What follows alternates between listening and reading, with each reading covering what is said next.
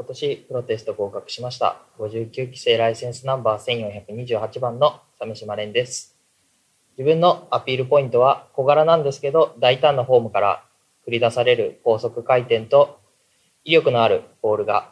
自分のアピールポイントです。今後の目標はまず